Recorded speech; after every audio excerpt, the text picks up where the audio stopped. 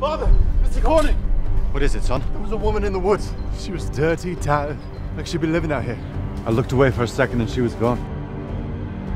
That was no ordinary woman, Dietrich. It was a Jordan brood. Forest witches.